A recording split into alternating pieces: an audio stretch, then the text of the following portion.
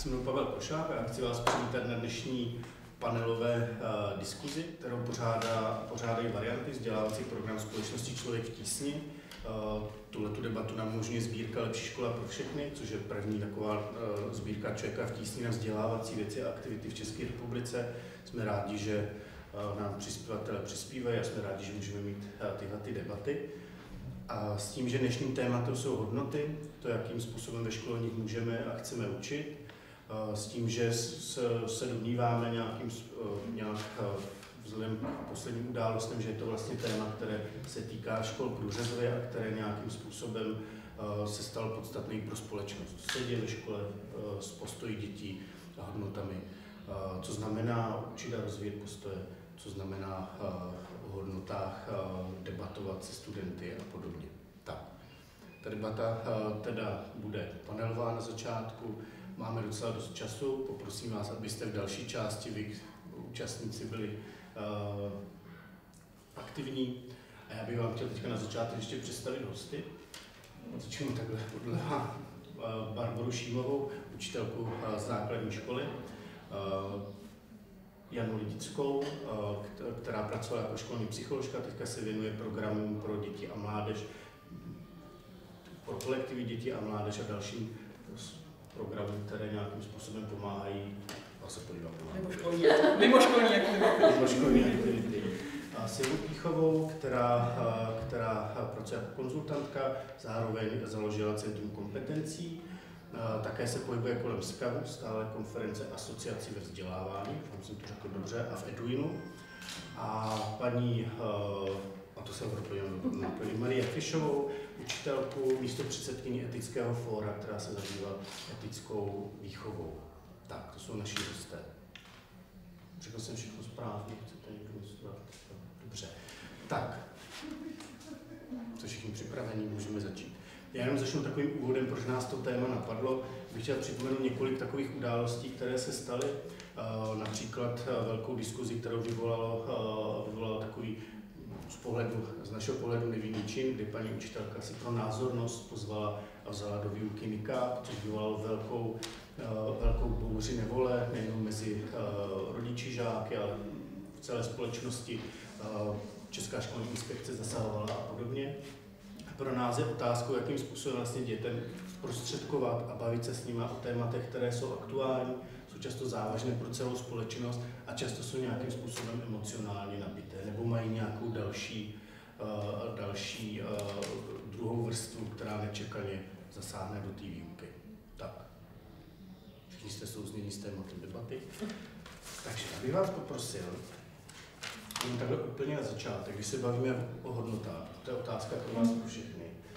Uh, jak může učitel vlastně o hodnotách, jak je může poznat ve škole a jakým způsobem nápovědy, a jestli je to vůbec důležité, jo, jestli to vychovávání dětí patří ke škole nebo ne, což je taky častá otázka, jestli škola má vychovávat nebo ne.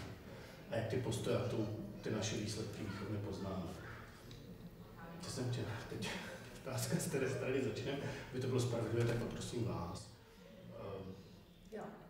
Nevím, jak to souvisí ze spravedlností, že mám začít, ale to nevadí. že budeme každé začínat z jiné strany. Já, jsem se podíval tady, pak můžeš mluvit do očí a viděl jsem, že asi nebude spokojený. Tak, takže je to spravedlivý pro Báru. Dobře, tak. tak. A pro mě taky. Já se pokusím to mnoho vrstev na to otázku nějak na ní zareagovat. Jo. Za prvý si myslím, že škola vychovává, i kdyby vůbec nevychovávala, nebo kdyby tvrdila, že nevychovává, tak prostě stejně vychovává. Jo. Mhm. A no, podle toho by to pak vypadalo, kdyby teda na to rezignovala jakoby vědomně. Že? Mhm. No a jestli, jako, jestli má ten kantor nějak jako poznat ty hodnoty, a mě tam jako vadí ten dokonavý byt, jo. Mhm. Podle mě by je nemůže poznat, ale měl by je poznávat. Mhm. Jo, jako proces prostě. A měl by s tím nějak pracovat a pracovat teda s tou třídou. Tak mhm. tolik asi v tuhle chvíli za mě. Dobře, děkuji. Prosím. Tak jak dneska to je, a rozhodli jsme se v roce 2004-2005, že budeme mít rámcový vzdělávací program, že budeme rozvíjet kompetence, tak nedílnou součástí kompetencí jsou postoje. Proto mě vlastně otázka v roce 2016 jako jestli hodnoty nebo postoje do vzdělávání nebo školy patří, trošku překvapuje, protože já spíš mám pocit, že jsme zjistili v průběhu eh, získávání zkušeností s rozvojem kompetencí, že to, jako se dají docela dobře ty znalosti, že jo, eh, nějak osvojovat, přenášet a ty dovednosti dobře, taky to nějak se učíme, ale vlastně si s těma postojema moc nevíme rady a už vůbec nevíme, jak je měřit a tak dále. Ale všechno nám dneska říká, tak jak je to ve školství dnes nastaveno, že to je jako naprosto klíčové a že se to od školy požaduje. Takže to je jedna věc. Otázka je, jestli se to změní, nebo jestli to chceme změnit a jako co, co, s tím, co s tím bude. A uh, druhá věc je, jak, jestli by teda učitel, jak to má rozpoznat, nebo tak já uh, si myslím, že uh, souhlasím naprosto s tím, že samotná ta kultura, nebo tak to klima té školy, nebo to chování učitele, nebo nastavení toho klimatu v té třídě vychovává, nebo nastavuje nějaká, nějaké podmínky pro to, z čeho se eh, ti žáci učí. Tak jestli si osvojují ty pozitivní, jako, no, hodnoty jsou podle mě vždycky pozitivní, ale jestli si z toho osvojí ty pozitivní postoje nebo pozitivní um,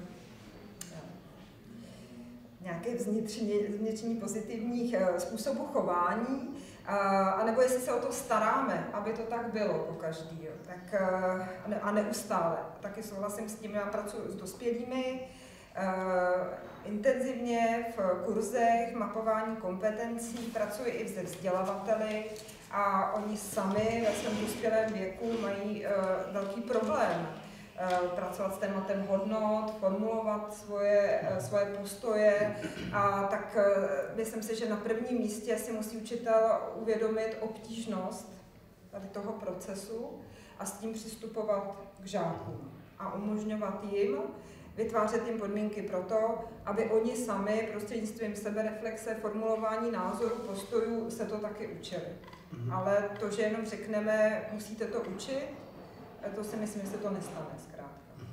Tak, Díky.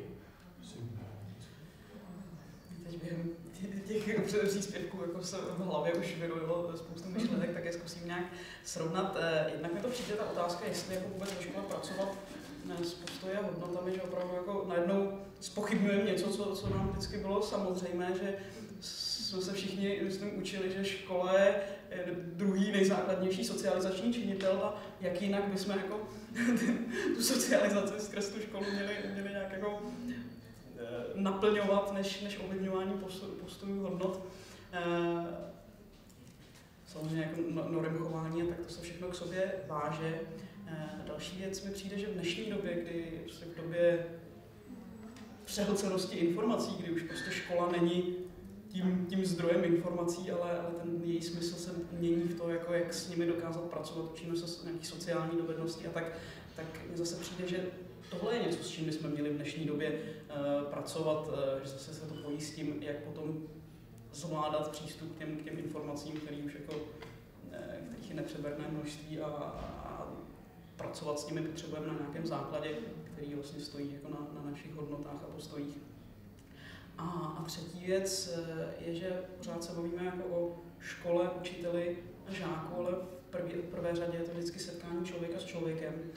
A zase, když se dostaneme k tomu tématu, vlastně jak funguje ta socializace ve škole, tak ten učitel je tam jako nějaký důležitý dospělý. To prostě po rodičích, nebo má tu, eh, má tu ten předpoklad k tomu být tam tím významným dospělým, eh, od kterého když to dobře pojmeme od raného věku, to, to dítě jako se snaží získávat nějaký ten pohled na svět, takže vlastně v tomhle setkání lidském přijde, že vlastně ten žák nás k tomu dotlačí, aby jsme se dostali k tématice postojů, ať chceme nebo nechceme, protože ho to prostě zajímá a zvláště u těch palčivých témat, kterým my se třeba chceme vyhnout, tak potom vlastně narážíme na to, narážíme na to, že ty žáky to stejně zajímá, chtějí se o tom bavit, je to pro ně tematické a chtějí se bavit na té lidské rovině. Takže vlastně, když to pojmeme nějak s nějakou strukturou a půjdeme do toho jakoby vědomě a plánovitě v tom vyučování, nebudeme se tomu vyhýbat, tak mi to přijde jako mnohem bezpečnější půda, než když jsme potom uh, vystaveni tomu, že oni se ptají a my nevíme, jak reagovat. Mhm. Díky. Škoda, že jsem nezačínala já. Ale já jsem tady jako za učitelku, já učím na druhém stupni základní školy a uh, ta otázka, když byla položena, si říkám, to v té škole nikdy nikdo nebyl v současné době, protože pokud chceme vychovávat děti jakoby pro život, už to dávno není to předávání informací a děti, že by byly ve škatulce a zapisovali. Jako i z jejich z nich vychází spousta jakoby, těch věcí a vlastně tím, že jsou tam jako nějaké společenství, které si vytváří své pravidla, učí se vším jako tím, že tam jsou těm dovednostím i těm postojům, tak vlastně zahrnou toho člověka. A já vlastně v podstatě i dneska jsem se s jedním deváťákem o tom jako bavila a dával jsem tu otázku. On říkal, ale ono by to jinak nefungovalo, kdyby ty učitelé nechtěli z nás ty naše postoje, tak prostě tam je stěna, a vlastně nedojde k tomu propojení a k tomu učení v žádné rovině, protože ty děti v určitém věku vlastně se odstřihnou teda. Jako jestli někdo za stěnou, tak s ním nejdu a nebudu pokračovat dál a nemůže tam nabízet nic jako dalšího. Takže musí, nebo mělo by, nevím, musí to je silný slovo, dojít k nějakému jakoby propojení a ptání se o těch hodnotách. A to, co už tady bylo řečeno, že vlastně ten pálí se to z těch informačních zdrojů ze všech stran ty děti prostě to zajímá a vlastně tam je nějaká vnitřní motivace a když mají možnost se k tomu nějak dostat a diskutovat a vlastně třeba i s nějakými pravidly, tak je to formuje. Jo, a řeknou si i ty negativní, i pozitivní věci samozřejmě, ale to je to učení, že jo? Pro mě teda v tuhle chvíli stačí. Dobře, děkuji.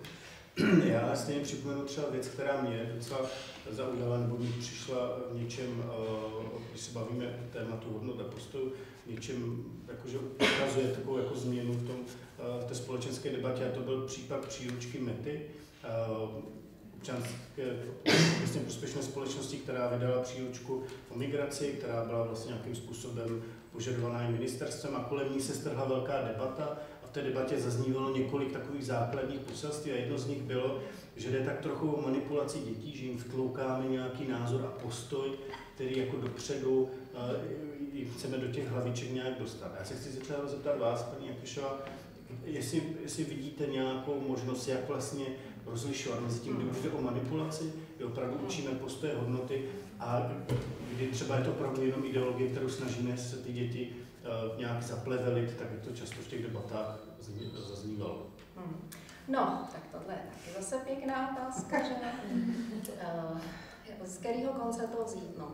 Já teda říkám, že eh, rozdíl mezi výchovou a manipulací je v tom, že uh, manipulátor sleduje svůj zájem a ten, kdo vychovává, by se měl snažit sledovat zájem toho dítěte, což samozřejmě předpokládá empatii a sebereflexy a tyhle věci. A jsou manipulátoři, kteří budou upřímně věřit tomu, že vychovávají, ale přitom manipulují. Ale dobrý, tak můžeme zůstat u toho, že tam je nějaký rozdíl v té motivaci toho, kdo je nositel toho chování. Že? Takže to je první věc, kterou kterou bych viděla jako důležitou, aby ten učitel měl, byl osobnostně prostě na takový výši, aby se neuchyloval nějak vědomě teda k manipulaci.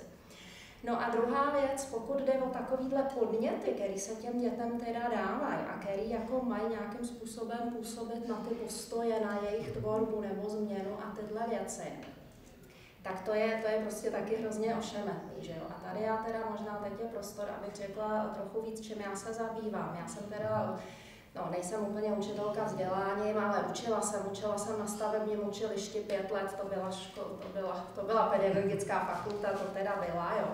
A mm, pak jsem učila právě i tu etickou výchovu na soukromém gymnáziu, kde to bylo svým způsobem náročnější než na tom učňáku. A zároveň jsem teda uh, lektorka vzdělávání dospělých. No a jedno z těch témat, kterým já se věnuji, je právě ta etická výchova. A když se to takhle řekne, tak, rodí, tak o to prostě ta společnost o to nemá zájem. Jo, my, my se prostě nějakých, právě přes tu společnost Etické fórum České republiky, my se snažíme ten projekt už někdy od roku 99 tak jako prosazovat, popularizovat, nebo prosazovat, popularizovat, protože věříme, že kdo to pozná, tak ten zájem o to mít bude, že? No a to se moc nedaří.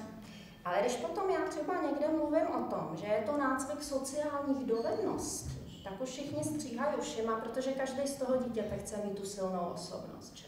Mhm. A ta etická výchova ale k tomu skutečně jako pomáhá. A teď co je to ta silná osobnost? Že jo? Kdo to je? To je někdo, kdo má v první řadě prostě zdravý, dobrý sebevědomí. Když má zdravý, dobrý sebevědomí, tak může eh, prostě eh, pozitivně oceňovat svoje okolí, pozitiv, mít empatii, mít zároveň, být zároveň asertivní a tak dále. Jo. A ten projekt Etická výchova je strašně pěkně, eh, komplexně organizován tak, že, se tam, že tam dochází k nácviku těchto různých dovedností. Od těch jednodušších po ty složitější, hodně to samozřejmě prolíná. A na vrcholu teda nějaký pomyslného žebříčku je takzvaná komplexní prosociálnost. A tady jsme teda u těch témat, jo, jako třeba, který vy nějak akcentujete a jo, taková ta solidarita v tom širším slova smyslu. A já tímhle tím svým povídáním chci říct ale to, že my ji máme jako desátý téma. Že když nějaká paní učitelka by ze třídou nepracovala v tomhle kontextu, že ty děti si nejdřív nějakou solidaritu, toleranci, tyhle věci prostě mhm. pro, zkoušejí, procvičují, mluví o tom. Hlavně ty děti o tom musí mluvit. Ne, že paní učitelka řekne, takhle je to dobře, takhle je to špatně. Paní učitelka řekne, tak, tady je takováhle situace, co si o tom myslíte, že Zkouší si to, jo, je to zážitkovou metodou, tak je hodně růz aktivit, desítky, prostě dá se, dá se s tím moc pěkně pracovat. No, takže potom ty děti budou líp slyšet i na ta témata eh, s tím širším záběrem. Nepovažuji za šťastný, neznám ten kontext. Na každé škole, v každé třídě to bude jinak. Nepovažuji za šťastný, aby se do nějaké třídy nepřipravený vpadlo s nějakým takovýmhle tématem. Myslím si, že výsledkem pak je to, že se to ještě víc hrotí. Ještě víc mhm. to jde, jo, ty názory prostě polarizujou a k tomu, abychom pak vzájemně se chápali, vzájemně ten názor vyslechli, to se s dětma učíme třeba rok, dva roky, se učíme komunikaci, diskutovat, to, že někdo má jiný názor, jo. Jak, to, jak, jak ho přijmout, jak ho vůbec vyslechnout, neskákat mu do řeči a tak dále. Jo. Tak nevím, jestli bylo to srozumitelné, jestli jsem nějak odpověděla taky i na to, na co jste se vlastně ptal. Jo? Takže ano, ano, přinášet ta témata, ale strašně záleží na způsobu. Mm-hmm. Protože se může nadělat víc škody než užitku, bohužel. Díky. Já úplně nejsem spokojený, ale já se ještě doptám. Dobře, doptejte. A já spíš ještě se tam teda, eh, tady Barbory Šímové, když eh, teda máme takovéhle téma, myslím, že opravdu důležité přemýšlet o tom, že by ta třída měla být připravena, tak jakoby, jak to jako funguje, nebo co je tou, když se objeví nějaké takové téma, tak co je tou výzvou v tom tématu, ve smyslu, co všechno musí učitel udělat, nebo co všechno musí teda proběhnout, aby takovéhle téma v té, v té třídě mohlo, nebo těch hodnotách mohla ta diskuze probíhat. Třeba to děláš. Jo, tak když se ptáš, jak to dělám, tak to je jako pro mě jednodušší, než jak by to mělo třeba nějak vypadat, protože pro mě je zásadní to, že já jsem jako třídní učitelka a já v své třídě učím češtinu, dějepis, výchovu k občanství a v průběhu týdne mám prostě nějakých 8-9 hodin a třídnickou hodinu. To znamená, že my se od Česky poznáváme, pracujeme na tom kolektivu společně a vlastně taky postupujeme i po nějakých stupínkách, aby jsme měli bezpečný prostředí a jako oceňovali se a pak v určitých chvílích prostě to, co se děje ve světě nebo mezi náma, tak se snažíme jako nějakým prac, způsobem pracovat, zařazovat. A já se samozřejmě pak v tu chvíli rozhodu, jakou formu nebo metody k tomu využiju, aby jsme buď s tématem nebo s nějakým problémem mohli pracovat dál. A jenom bych dodala, že jsem taky vystudovala etickou výchovu. ale, ne, ale, ale, ale, ale neučím jako předmět, ale vlastně jako by součástí uh, ostatních předmětů. Jo, máš nějaký komentář? No, eh, jestli můžu, tak Určitě. Pro mě takový jako největší aha moment bylo, kdy uh, jsem před deseti lety byla na mezinárodní konferenci k tématu vězeňství. Já jsem zabývám oblastí, jsem teda pedagožka původně, ale přešla jsem částečně i do sféry vzdělávání dospělých a teď jako se pohybuji na těch dvou polech, protože pracuji i s běžnou populací. Mhm. Nepracuji jenom ze vzdělavateli, pracuji s lidmi, kteří jsou ve velmi obtížné životní situaci, eh, v chudobě a tak dále. Ne, dlouhodobé nezaměstnanosti. Je to velmi zajímavé, protože to svým způsobem reflexe ke škole a k tomu, co jim dává, nebo s čerstvými absolventy. Eh, a, a Vrátím se k tomu tématu vězeňství. Byla jsem na této konferenci a tam vlastně generální ředitel dánských věznic proklamoval, říkal, my s těma vězněma máme jedinečnou příležitost pracovat na úrovních postojů. No to je fantastický, že je máme v tom vězení a že s nimi můžeme pracovat a tím pádem je navracet do té společnosti s tou důvěrou, že prostě se nějakým způsobem integrují a opravdu začnou žít uh, život, který bude prospěšný té společnosti. A v ten moment mě úplně jako vlastně zamrazilo, jako na, nakolik nám se daří eh, tohohle potenciálu a toho času, že jak se taky říká, že škola je 9 let na to, tak eh, jako, jakolik toho potenciálu dokážeme využít přesně v tomhle momentě. To znamená, že ty lidi, a je to vlastně jedinečná příležitost, pak už se nám nikdy nepodaří, pak dobře na jak střední škola, ale tam už jsou nějaký proudy, ale v té pestrosti se nám vlastně nikdy nepodaří ty lidi takhle mít dohromady a mít příležitost s nimi pracovat. A to je to téma té socializace. Ale vlastně ta moje otázka je, nakolik opravdu k tomu přistupujeme s takovouhle pokorou toho, že to je jedinečná příležitost. Díky. Já to využiju, hned otázky, díky za nápovědu. Bych se zeptal vás, mě, mě tam zajímá to, že ty děti opravdu tráví 9 let v té škole, což eh, je opravdu nadstandardní čas a prostor. Mě by zajímalo, jestli se liší, nebo z pohledu psychologie, jestli se liší ta práce třeba na prvním stupni, na druhé a jak eh, tady říká kolegyně, jak to jako teda kontinuálně dělali, aby jsme připravili na ty témata, jak jakoby jinak třeba pracovat, nebo pracovat stejně s mladšími dětmi, se staršími, jak to jakoby funguje z pohledu té psychologie. Jestli bez obalu na děti na prvním stupni útočit těmihle postojovými věcmi, anebo opravdu nějak připravit, jak to funguje v těch jednotlivých fázích toho učebně skoro pracovního procesu školy. Já si myslím, že stejně jako ten vzdělávací obsah se nějak postupně jako rozvíjí a, a rozšiřuje s ohledem jakoby na to, jak, jak se i vyvíjí jakoby nějaké jejich mentální schopnosti, tak je potřeba jakoby postupně nějak rozvíjet i, i, i tu náročnost jako těch eh, postojových nebo těch kontroverzních témat. Eh, je to o tom, že samozřejmě na, na začátku eh, je tam ta velká výhoda, možná, možná i riziko toho, že, že když ty děti vstupují do té školy, tak pořád ještě snad i v dnešní době to, to funguje tak, že je tam jako velká autorita toho, toho učitele, nebo ještě se dá prostě pracovat s tím, že ty věci, ty, ty informace přijímají, protože to říká paní učitelka.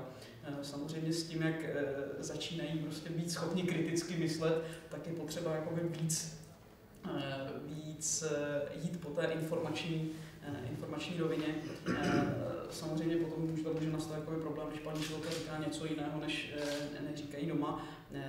vždycky říkám, že pro mě je to takový jako systém spirály, že prostě ne, ne, není, není, nevnímám to tak, že některým tématům my jsme se v tom raném věku jako měli nějak zákonitě vyhýbat, ale vždycky jakoby do, do jaký složitosti, že prostě nemusí, nemusíme jakoby přehltit spoustu informací, které nejsou v určitém věku jakoby schopni, schopni uh, pobrat, ale uh, když na to témata narazíme nebo se, nebo se ptají, tak je potřeba jakoby odpovědět, bavit se i třeba o tom, co jako k tomu vědí, co si o tom myslí, co slyšeli doma a, jakoby postupem času se třeba k těm tématům opakovaně vracíme do nějaké e, širší hloubky. E, ty složky postojů, když bychom šli jako do, do toho, z čeho vlastně ten postoj se stává, tak má nějakou jako rovinu toho názoru, přesvědčení, má rovinu, která se k tomu eh, váže jako emoční, vede to potom k určitému, k, k nějakému chování, tak jako v tom mladším věku to, co je tam palčivější, jako by ta emoční rovina, že oni třeba ještě tolik si nedokáží třeba sami udělat ten názor, ale cítí ty emoce, které se k tomu váží, takže pracujeme s těmi emocemi, čím jsou starší a vlastně chtějí si udělat ten, ten názor vlastní, tak je potřeba pracovat jako v té, v té informační rovině.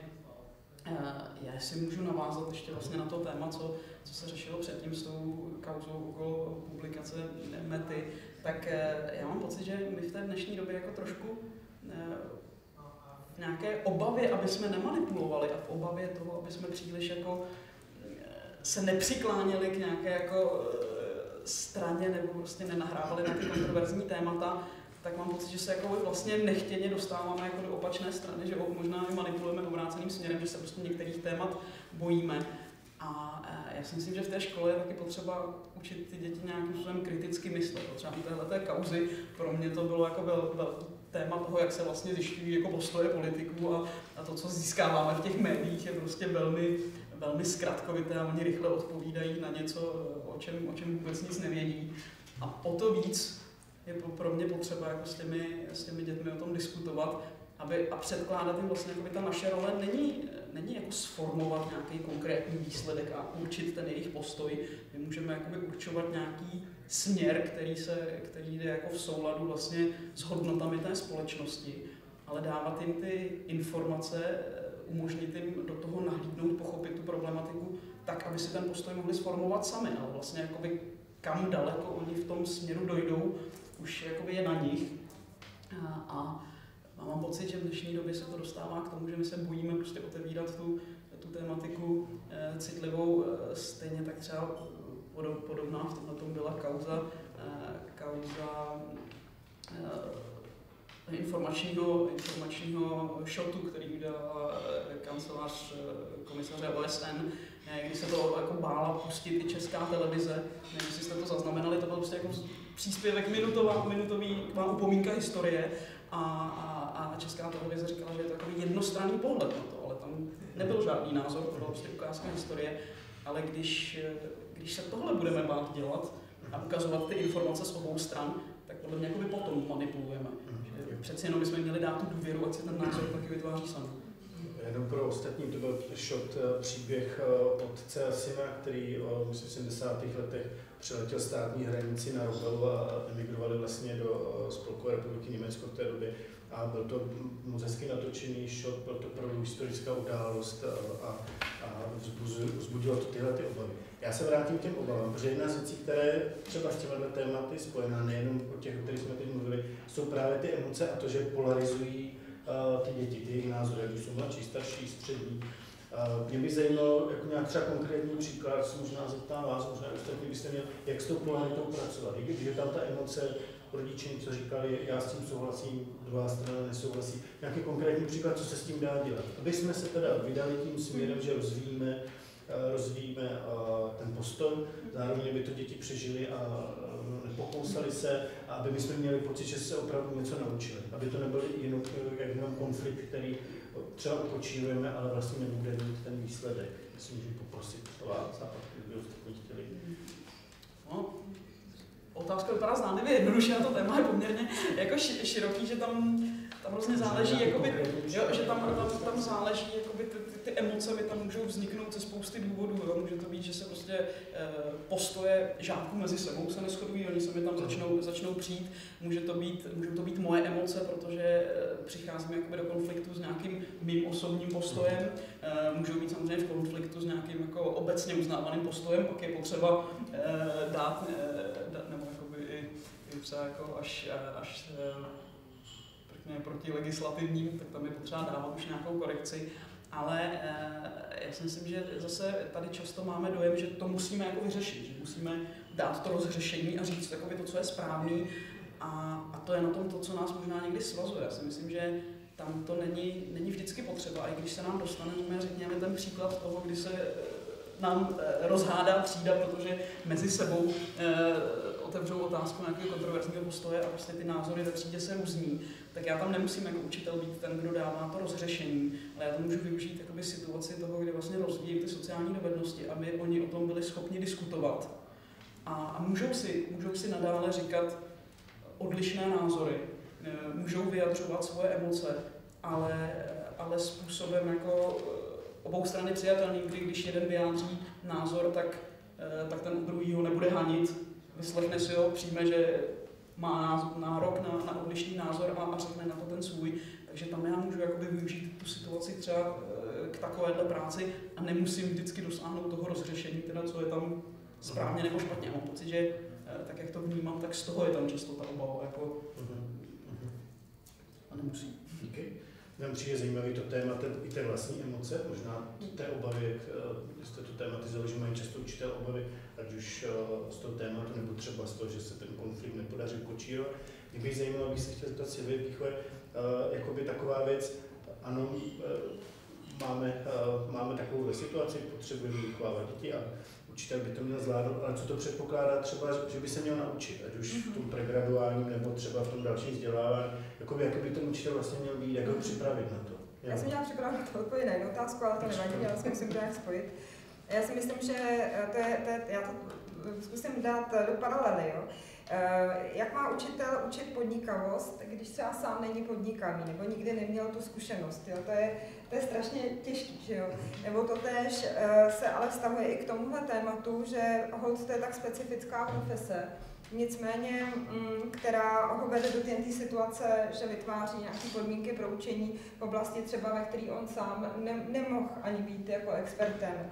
A, ale na druhou stranu zrovna v té oblasti postojů a postojů, tedy ještě takhle nazvu, tak si se domnívám, že a zrovna dneska jsme měli téma pedagogických fakult na kulatém stole, eh, o tom, co by mělo být součástí vzdělávání pedagogických pracovníků a, ten, a to třeba, co požadují teď studenti v rámci jako studentského hnutí a říkají, chybí nám to, je právě prostor pro nějakou uh, sebereflexi, reflexy toho, co zažijou třeba v té třídě, pro, eh, pro to, aby eh, mohli sami jakoby na tom růst, ale růst nejen jako pedagogové, ale růst jako osobnosti, aby se prostě zorientovali v těch situacích, aby dokázali, aby byli odborníci na ten proces to si myslím, že je to klíčové. A to se nestane taky samo. Tím ano, určitě to, že člověk hozen do té vody, tak je to, je to ta velká zkušenost, toho musí se s tím nějakým způsobem utkat a myslím si, že tím získá tu pokoru k tomu všemu, co se jako děje, ale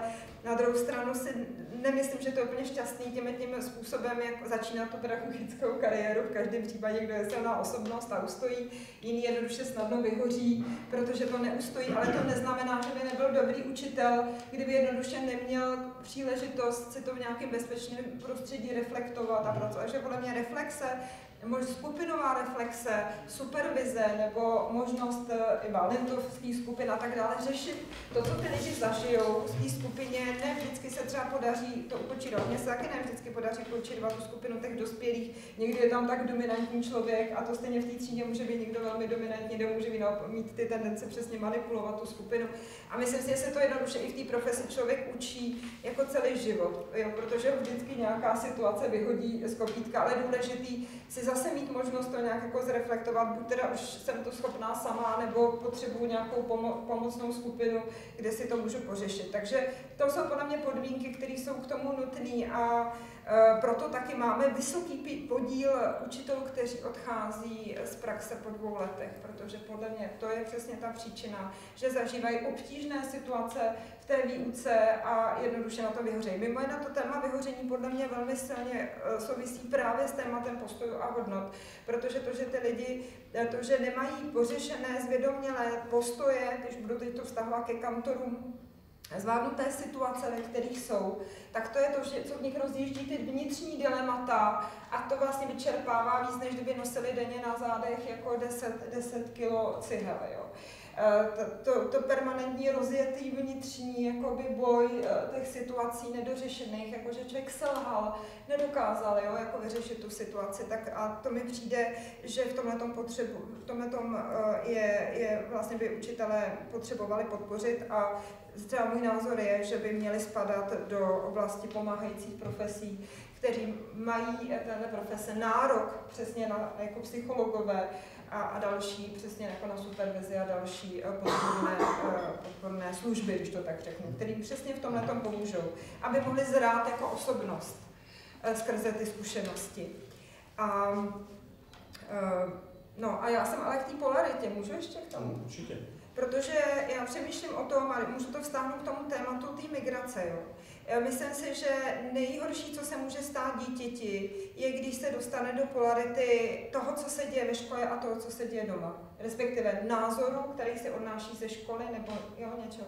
A názoru, který je to představa, že já jako dítě, nez, ještě opravdu nezralý člověk, si ve škole něco sformuluju, jako hrdě s tím jdu domů a doma narazujeme na nějakou názorovou stěnu, prostě tak mám dojem, že v ten moment na to dítě opravdu přenášíme zodpovědnost, kterou nemusí nutně uníst.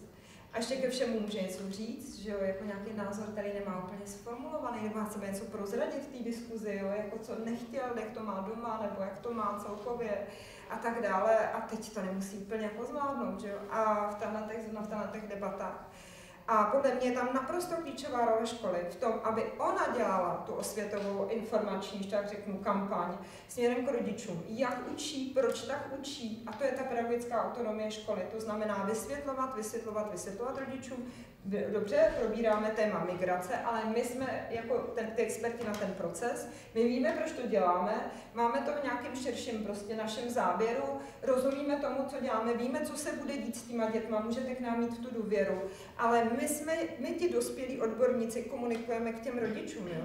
protože tohle přenášet na ty děti mi vlastně svým způsobem přijde velmi nefér, jo? nějakou právě polaritu názorů. Uh, já se zeptám, jestli můžu Bárburu Šinou poprosit, jak to řešíš jakoby prakticky, protože vlastně určitě ten stín těch rodičů a těch otázek rodičů, eh, co pak to tam učíte a, a, a teď nemusíme migrace, těch témat je spousta, ke kterým rodiče mají jiný postoj, nebo, nebo tak trochu přemýšleli, jestli ten postoj té školy není, eh, mají tu otázku tomu, co ta škola vlastně učí, jo? nebo jestli ta hodnota je tak, jako oni si představují, tak jak to třeba řešit. Tak vlastně nejde úplně o téma, ale o to, jako seznámit ty rodiče ze způsoby, jakým my vlastně s děti pracujeme. Protože vlastně, což je klíčový, třeba když dostáváme ty šestky, tak ne teda hned na začátku, na to na ně vyhrnou, ale po nějaký době prostě se pobavit s těmi rodiči o tom, vlastně jakým způsobem ty děti povedu, co s nimi děláme. A teď jako nemusím přesně říkat jako ta témata, ale způsob, jak se učíme. A když ty děti se mají jakoby důvěru doma a běžný prostředí, tak oni se s těma rodičema o tom baví. A ty rodiče hned dávají nějakou zpětnou vazbu, že chtějí se o tom bavit, nebo třeba já konkrétně teď vlastně jsme měli třeba třídní schůzku, tak jsme to naplánovali i s dětmi, že jsme prostě připravili nějaké věci, portfolia z toho, co, si dě, co dělají během těch hodin a Připravili jsme takový jako plagát, dobrý den, projděte si naši třídu, prohlídněte si naše práce a najděte si místo, kde sedíme a kde to bylo položené, aby vlastně viděli nejenom to míl, tak jako samozřejmě jsou to pubertáci, tak jsou tam nějaký malůvky, ale zase vidí i ty ostatní děti, takže jakoby i oni v tomhle tom, pak třeba jim nabídnou a můžete se samozřejmě přesadit, ale jenom jsme vám chtěli ukázat spolu s dětma, jak třeba to tady u nás chodí, jenom ten pohled na tu věc, aby přijali, ale zase já souhlasím jako s ne, ne, nechci se vzdávat z odpovědnosti té školy za tuhle tu stránku, ale zase problém máme s tím, jak vlastně ty rodiče tam jakoby dostat, nebo to k ním dostat, protože samozřejmě tam přijde část těch rodičů a chtějí se o tom bavit, někdo jakoby hodně má o to zájem, někdo z nich jenom to tak jako zaslechne a je mu to jedno. Pak je samozřejmě část i těch rodičů, kteří prostě si myslí, že ta škola funguje úplně stejně tak, jak chodili oni do školy, že to je prostě ta stěna učitel a oni přece musí poslušně sedět a zapisovat si. Mhm. Takže těch, a někdo o to zájem vůbec nemá, protože hlavně, že to dítě tam je, ví, že je v bezpečí a prostě až ta škola skončí, tak přijde domů a to, tak já se musím starat od té doby, protože ta škála je jako hodně široká. Dobře, já se možná zeptám ještě na jednu věc, která mi přijde, jako, že, že, ne, ne, v pořádku, moc díky, jenom ještě jako jedna věc, kromě toho, co jste říkali, že jakoby ano, bavíme se pro sociální výchově, hmm. říkáme ty kompetence, nějak to běží, škola říká, co, co dělá s těma a takhle. Já se možná zeptám ještě na jednu vrstvu, která mi v těch diskuzích přijde zajímavá, třeba když tu internetové diskuze, je to hmm. teda neúplně naplňující koníček, ale dělám to, tak tam často je jakoby ten problém toho obsahu té hodnoty. Když popíšu příklad, je to například uh, opravdu to konkrétní, konkrétně se dobře nebo špatně být solidární s uprchlíky, ale může to být cokoliv dalšího. A často ta stěna, kterou zmiňuje, že dána tím, že ty děti dostávají vlastně signál, ty rodiče mají že to je jako kdo si pamatujeme před rokem 89, ta škola něco vykládá, je to hmm. propaganda, ideologie a my doma máme ty správný názory, jeden postoj. Druhý je teď spousta rodičů opravdu chce ovlivnit, co škola učí, takže se stává na školách a mám ty signály, že část rodičů na aktivity spojené s migrací nepošle děti nebo různě nějak intervenuje ve škole. A, a jakoby vlastně pro mě je to signál to, že celá ta společnost se nedokáže shodnout hmm. na těch na těch hodnotách, na tom obsahu. Připomenu třeba otázku sexuální výchovy, dva roky dozadu veliký halo na jedné pražské škole. A teď jenom jako jak s tím lidem zacházet v té škole, kdy ten sám učitel často řeší to dilema, jestli to, co, to, co v těch materiálech je, nebo, jo, jako, nebo tu definici má třeba posunutou trochu jinak. Jak třeba o tomhle rozporu, kdy často v uvozovkách plásnu jde o definici, o ty slovička toho, jestli, jestli, uh, jestli tu hodnotu takhle pojímám nebo ne, tak jak s tím zacházet pro ty děti. Jo, že tam je plno takových sdělení, uh, které jsou třeba pak už trošku ideologicky zabarvený. Jo. Třeba to otázka sexuální výchovy šlo takový spíš ten, ten křesťanský názor na sexualitu s tím, ale že část společnosti to nezdílí. A jak se s tím má poradit ten učitel v té chvíli. Jo? Protože ty máš svůj názor, rodiče mají svůj názor a děti tam jsou někde prostřed. Klidně můžete kdokoliv. Jo? Jenom, Já jenom vlastně, to už uh, Marie předtím říkala, že v podstatě jdu s tím tématem a znám tu třídu tak samozřejmě, že to přinese třeba i jako nějaký rozpory, a nebo i od rodičů, ale není to prostě, že jen tak si vymyslím a ně, něco s něčím tam jdu. Takže to nějak vychází z nějakého motivu a samozřejmě, že se stane, když teď jsme třeba zařazovali i s eh, šestiáky jako besedu o uprchlictví, kdy jsme měli pozvanou dobrovolnici, že, jo, že prostě rodiče psali, co se tam teda jako by dělo, protože, ale jako nebyla to výtka, ale prostě to dítě to nějak jako chápalo, něco doma říkalo, ale prostě rodič přišel, něco jsme si vysvětlili a ne, teda tam nedošlo k žádnému velkému nebo ne, k žádnému střetu tam nedošlo, což ale samozřejmě může dojít, ale spíš, když se ty děti, je to o tom, že ty děti se učí komunikovat, učí se toleranci a není všechno černobílý, že jo. Mm. Tak tady já tam, a přesně už to tady několikrát bylo zmíněno, já tam nejsem jako samozřejmě nějaké jako obecné hodnoty člověk má a reprezentuje, ale není to tak, že já to tak řeknu a nemůže to být nic nějak jinak. Mm. Jo, že ty odstíny a, a zdroje těch informací hledání různých úhledů, úhlu pohledu a tohle vnímání jako tu dovednost je jakoby podstatnější. Mhm. Dobře. Já bych možná navázala na to, jo, dvě věci mě napadají. Za prvý tady bylo řečeno, že eh, hodně to je o těch emocích. Když to je o těch emocích, tak už je to dobrý. Totiž dost často se stane, že když my začneme pracovat s nějakou třídou, tak první, čemu čelíme, je absolutní nezájem o cokoliv. Mm-hmm. Jo, to třeba na, mm, je věc možná někdy toho druhého stupně střední školy. A vlastně dostat se přes tohle k těm emocím, tak to už je jako první, co, co, z čeho člověk může mít radost. Jo? Tak to je, to je první, co mě napadlo. E, a teďko teda ještě to, co ten učitel tam jako on tam jde nějak za sebe, zvlášť tyhle ty předměty, jako je ta etická výchova. My, my máme takovou jako ideál, že když by se etická výchova učila hodinu týdně, že to je optimální, že to je fakt jako na ten nácvik těch sociálních dovedností toho, aby, aby taky měli oni prostor mluvit o, tom, o těch svých názorech a co je zajímá a tak dál, ne, že furt se jenom do nich něco valí, že jo. No a uh, učitel je tam jako na strašně tenkým ledě, protože on tam nemá to učivo, za který tady vám budu děti říkat, že jo, ale on tam má sebe. A teďko, jak tady s tímhle, on nemůže tam e, přijít a říct, tak a já jsem katolík, že jo, anebo já jsem ateista, jo, to, tohle samozřejmě takhle to nejde, jo.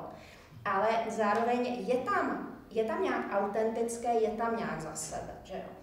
A já si myslím, že třeba, a vůbec by jim neměl říkat tenhle názor, no to o tom už jsem mluvila, na tom jsme se tu shodli, že jo, prostě říkat, který názor je, je správný, špatný. E, mimochodem, jeden z takových e, principů ty etické výchovy je, že každý názor, který zazní, je správný. Prostě jenom z toho principu, že zazněl a s ním se pracuje. Jo. A dobrý trénink na ty kontroverzní věci jsou prostě takzvaný etický dilemata, což jsou zpracovaný nějaká konkrétní dilemata, jo, tak prostě no to je literatura, že jo, a nebo si to můžeme vymyslet a to jim tam dát, to jim předložit. A na tom si to cvičí. A, a cesta sama je cíl, ten proces, jak se k tomu, tém, jak se k tomu dilematu vztahujeme, jak o něm uvažujeme, jak, jak s ním pracujeme, jak právě slyšíme ty jiný názory, aha, tohle to mě tam ještě nenapadlo, no tak já jsem se na začátku myslela, to je přece jasný, ale teď vidím, že to třeba tak jasný není, jo, a to je krásný trénink. A tam není, a tam není, že pak na závěr paní učitelka řekne, tak a tohle řešení bylo správné. Jo? A, A takhle, takhle si myslím, že to je vlastně i to kritické myšlení a všechny tyhle věci, které souvisí. A ještě jsem v napětí, jste říkal, že jste předtím nebyl úplně spokojený s tou mojí odpovědí. Já jste to zapomněl. Já jsem se milý, no. Já jsem teď přemýšlím nad něčím jiným. A teď... Jo, jo. No nic, dobrý, dobrý, já vás nechám. Určitě si vzpomenu. Mohla bych jenom zareagovat No, na to, co určitě. jste, co jste říkala. Mně to přijde určitě jako uh, užitečný tam mít ten, ten jako pilíř uh, jedné hodiny třeba týdně, spíš to cítím, jako to jsou ty sociální návyky, protože trošku já se bojím toho, že jsme zařadili hodinu etické výchovy a ta etika jako máme teď, jo, od 9 do 9.45 a vlastně zbytek jakože etika v té Hmm, škole ale není, jo. pardon, takhle to není, Jo, jenom to jako, že hrozně důležité, kdybych neměla Hmm. syna ve škole, kde, kde, Kde se, tak kde, má, jo, kde aha, ta tak etická výchova taky jako nějakým způsobem se vyučuje, když to tak řeknu, tak Hmm. eh, každopádně myslím si, že to je naprosto klíčová týmová záležitost. To, že všichni, kdo jsme v té škole, ale to včetně paní kuchařky, nebo paní uklízečky, nebo pana školníka, prostě vyznáváme nějaký etický jako aspekty nebo prostě principy a, ta, a tím ta škola žije. To je ideál.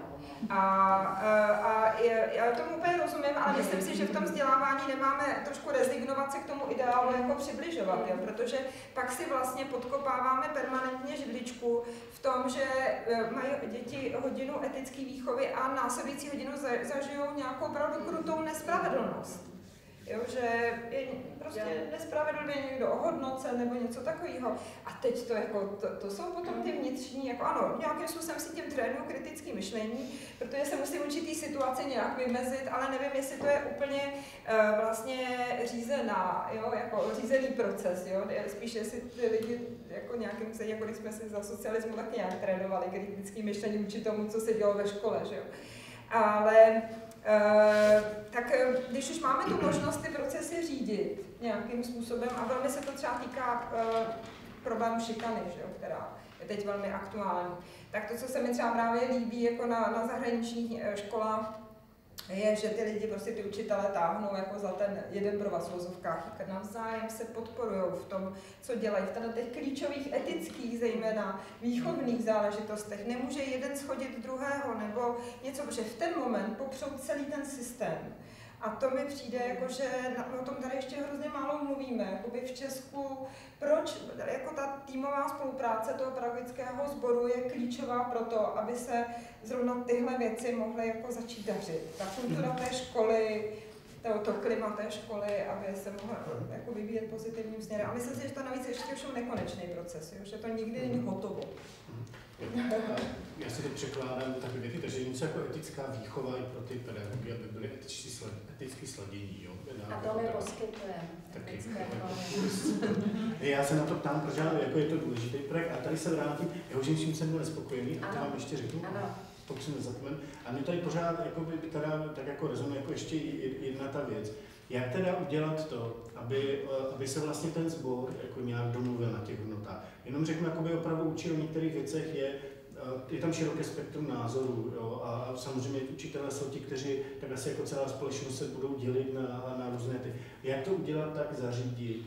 A to je otázka na všechny. Aby teda se sladil ten, eh, ten sbor, jít na kurz etické výchovy, anebo nějaký jiný nápady, jestli máte. Navázala, že pro mě, mně přijde, že je to takový obdobný téma, že není nutný, aby se shodli na těch hodnotách. Jako My si nemusíme říct, usnést se v tom 50 členým sboru, jako, co jsou teda ty správné hodnoty, protože pak by to vedlo přesně k tomu, co jsme se tady shodli, že dělat nechcem a nejde říkat jako ty, ty správné rozřešení, ale je to, je to o tom, aby tam byl nějaký jako jednotný přístup přesně o tom, jakoby, jak se pracuje, jak se pracuje s tou diskuzí, s, s nějakým eh, s tou sociální výchovou. Je to třeba jakoby velký téma eh, už třeba jenom pravidel, eh, pravidel jakoby pro, pro třídu, že je, je takový trend, co po nás třeba školy chtějí, jako na, na adaptačních kurzech se udělá jako pravidla toho, jak se k sobě jako budou chovat, že je to prostě součást nějaký prevence, aby, a, aby jsme tam podporovali ty zdravé normy. No ale my to jako tam s nima tři dny vytváříme, pak oni přijdou do školy a tam to nikdo nerespektuje. A ty učitelé, nebo v každý, v, jakoby kaž, každý té třídě platí jiný pravidla. V jedné hodině se jako smí pít, v jiný se nesmí pít. Jo, a, a, a, a, a v jedný teda můžu vyjadřovat názor a diskutovat s tím učitelem o těch hodnotách, dru, dru, druhý mi ten učitel řekne, to by se netahejte a to je špatně.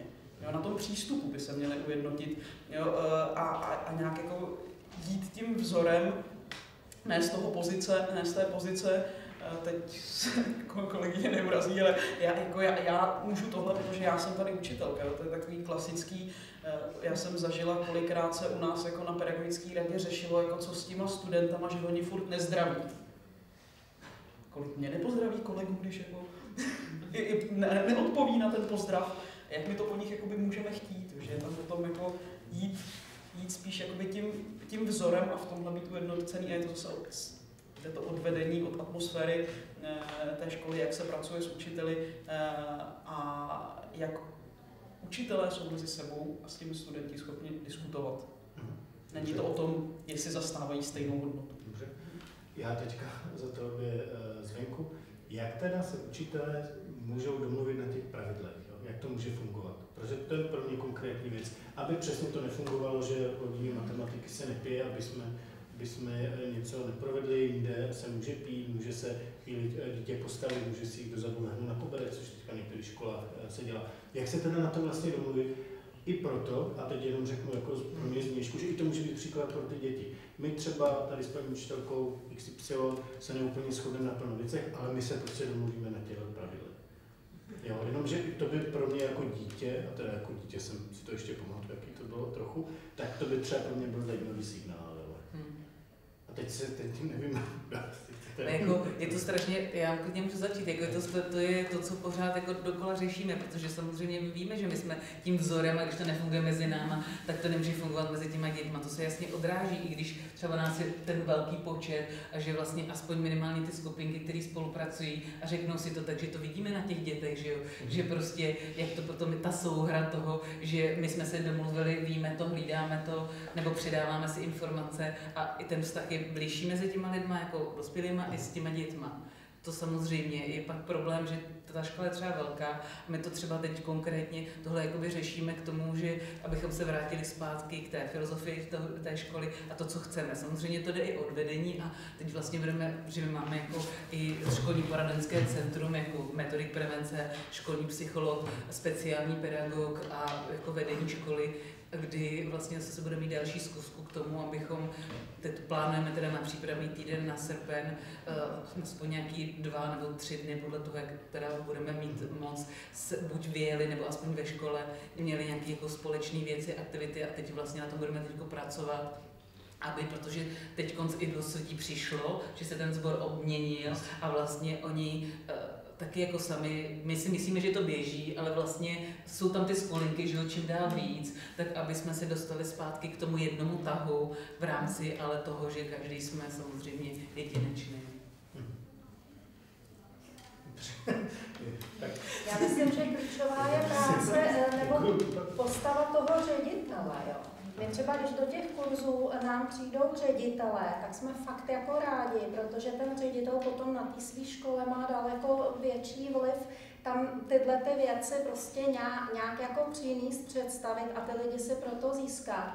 My, když máme v kurzu prostě učitele, který se natchne pro tu etickou výchovu, a prosím vás, etická výchova nebo podobný projekt, jo, já tady nejsem, jako, aby, aby chci jako to, to svoje téma, jako to téma, jako toho, toho projektu, ale jestli se jmenuje etická výchova nebo trochu jinak, pokud je tam podobná myšlenka, ta, ta prosociálnost, jakoby mhm. ten cíl všech těch sociálních dovedností, to, to je hodně důležité připomenout, jo, že ta prosociálnost je tam za tím všem.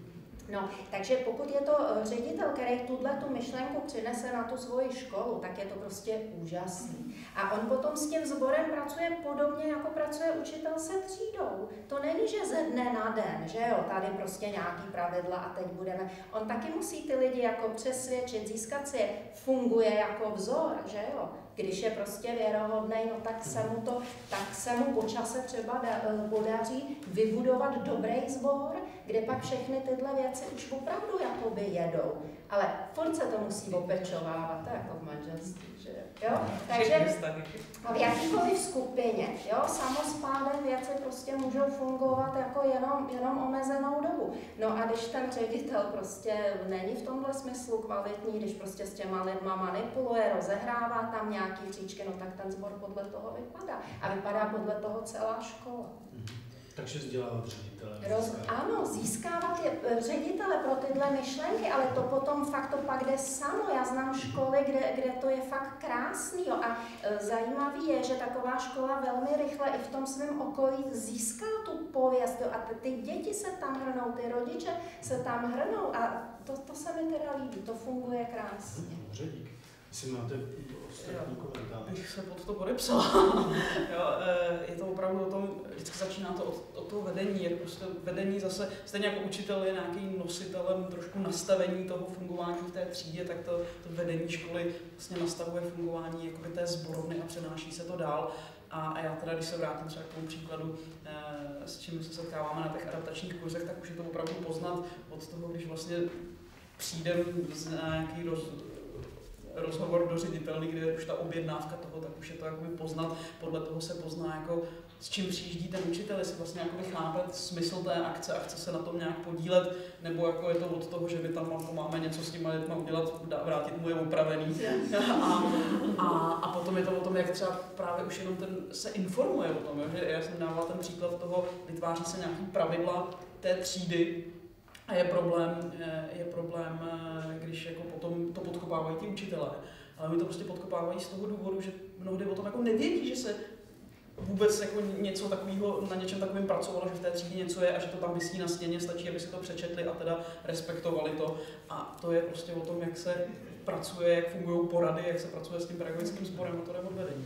Já bych to jenom chtěla taky podpořit, úplně si mi vybavuje moje pedagogická praxe, 2000-2005, když jsem učila jako na plný úvazek a Přesně to je o tom, jak si, co si z toho ty děti odnesou, jo? protože my jsme třeba fungovali jako partizáni, jo? jako partizánská skupinka. To znamená, že jsme nějaký pozitivní věci prostě se tlačili svojí cestou, jako nějaký skupiny jo, učitelů. Ale co tím učíme jako ty děti? Že normální cestou nejde prosadit jako dobrý věci. Protože tomu třeba velmi nepřeje a teď to všichni děti to samozřejmě vnímají. Jo? A, to, i, a to ani byste jim to říkali. To prostě, jestliže fungujete jako partizáni, tak i když to skrýváte jako partizáni, tak stejně to někde jako vyleze. Jo? Je to vidět, je to nějakým způsobem, se to, se to ukáže v těch procesech. A takže klíčová podle mě postava pro budování té kultury té školy, která má nese všechny ty aspekty v sobě, je pro mě klíčová osoba ředitele, jo, který jako ze zhora říká, já si toto přeju a e, tohle je to správné místo, aby se to dělalo s těmi lidmi, kteří tady jsou tím, tím způsobem. Jo. A potom teda je možný si z toho odníst jako, že žijeme v nějaké společnosti, kde jde dosahovat věci nějakou normální, přirozenou cestou, jo, jakými demokratickými principy a není potřeba vlastně přistupovat k nějakým jiným cestám. Jo, takže já se to přeložím. Takže osvěta ředitelů, jejich nasazení a fakt ta pro sociální výchova jedno kolo, tři pro pedagogický sbor. Dobře. Já teď trošku odbočím a dokud ještě držím v hlavě to, to, to nespokojenost, to, to zní jako, že já mám totiž pořád jako jednu takovou otázku, která mi přijde zajímavá a je to třeba i diskuzí, které jsem vedl já, nebo které vedli kolegové, třeba i s, s českými politiky, nebo jako s lidmi, kteří, kteří vedle a Pravdě mě, mě by zajímal ten rozdíl, to jsem byl jakoby nespokojený, hmm. kdy já jako rodič, já jsem teda shodou okolností i rodič, původně jsem si říkal, že nebudu vykládat příběhy ze svého života, ale prozradím příběh, a třeba jak já vlastně poznám na tom, co přináší dcera, dcera ze školy. Jestli už náhodou to není trochu ideologické. Jenom řeknu jenom jeden příklad, na kterém jsem se sekl v jedné debatě s nejmenovaným zástupcem nejmenované parlamentní strany, teďka poslancem. Třeba otázka formy rodiny, jak fungují rodiny. Jo, je to taková klasická, pro někoho etická otázka, pro někoho ne. Jestli máme ten ideál té klasické rodiny, můžeme mít na ní nějaký názor. A teď ale samozřejmě česká společnost žije dost rozdílný příběh. Chci připomenout, polovina dětí se narodí teďka už podle statistického úřadu mimo manželství. Uh, některé děti vychovají babička, dědeček, tatínek nebo maminka, střídavá péče. Teďka se objevuje téma například rodin stejnopohlavních rodičů. A teďka uh, má dcera uh, je v té škole a teď jak já mám jistotu, nebo když si řeknu, kdy je to ta neomarxistická ideologie, která mi třeba tlačí, tlačí, teď co mám za to slovo, tlačí tu stejnopohlavní rodinu jako už jako ideál, anebo naopak, jestli paní učitelka mi nevykládá, nebo mým dětem nevykládá nějak jako, a teď omlouvám se, sám jsem katolik, ale třeba jako ultrakatolickou představu uh, o rodině. Jo? Jako kdy já a ty děti to, nebo vůbec jako jak to rozpoznat, kdy je ta hranice. Aby opravdu učitel, dítě i já jako šťastný zákazník školy měl dojem, že tam jako neprobíhá nějaké jako ideologické kutění. Jo? Mm. Jo, že to by mě co, zajímalo. Co teda bylo v tom, o čem já jsem mluvila, to, co vás tam eh, jako teda zatáhalo za uši. Protože... To mě nic nezatáhalo ne. za uši, já jsem měl že jsme se k tomu úplně nedostali. To nebylo, jo, že jste řekla. Jo, takhle, já no. jsem celou dobu se tu bojím, že jsem řekla něco špatně. Ne, to by, já jsem, já, já jsem za to, že špatně slyším a že jsem to třeba jo. neslyšel. Jasně, no jo, tak eh, myslím si, že tohle téma už jsme tu taky nějak různě jako odpovídali a jako je to tenkej let. Je prostě. Jo, je to o nějaké osobní statečnosti, je to o nějaké práci s vlastním strachem, jo, se strachem toho rodiče. Jo, my třeba máme i kurzy právě pro pedagogy práce s rodiči jo, kde teda si vyloženě zkoušejí, jo, i to filmujeme, třeba pak si prostě rozebíráme videotrénink, jo, jak vlastně ten kantor s tím rodičem? A já jim vždy, a ta, prostě ta mm, nedůvěra na obou stranách je velká, to jako není vůbec pěkná atmosféra na mnoha školách, jo, prostě zhrzenost, ukřivděnost, strach, jo, a já říkám těm, nebo my říkáme těm, těm rodičům, vy jste profesionál. Vy jste tady za ty, kdo musí, eh, musí pokud to chcete, chcete napravit. Já co jsem řekla? Všechno špatně, zpátky. Sledujete, dobrý, dobrý, teď Ano, těm, my pracujeme teda s těma učitelama, který teda taky jsou let, kdy rodiče, že? ale těm učitelům říkáme na těch kurzech, vy jste ty profesionálové, mhm. jo, tak se tím nějak zaštiťte, běžte do toho, jo, ta správná komunikace vlastně tam jsou, je spousta kreativity by měla být v tom, jak mhm. nacházet ty Vlastně já vnímám komunikaci jako most od člověka k člověku, že jo. A ten profesionál by měl být eh, jako mm, prostě eh, nějak vybaven tím, aby, aby ten most uměl budovat. Mhm. Jo, tak prostě běžte do toho, jo. Ehm, teď různý tam jsou témata, že jo, komunikace citu, jo, o pocitech, prostě i tohle se dá sdělit, že jo, jo a, a prostě projevit pochopení pro toho rodiče, projevit i mu dát ten respekt, že on je znalec svého dítěte, že jo, on je odborník na svý dítě a prostě pokud možno se oprostit od toho, že tu spolu rivalizujeme, že tu spolu vedeme boj a tohle to je cesta, která otvírá ty dveře. Hmm. to znám jako rodič, jako lektor. No. Díky, jo, je to tenký let, stává se to a teď se hlásíte, tak já nejdřív Silvě byla první, omlouvám se, já zase na druhou stranu musím říct, ale že uh, naprosto téma profesionalizace učitelů, profesionality učitelský pro, profese, prestiže uh, v téhle oblasti mi přijde, že by velmi stálo za to tomu věnovat opravdu dlouhou debatu, budovat tu profesionalizaci, uh, zejména to pojetí její nebo to povědomí o ní, co to znamená.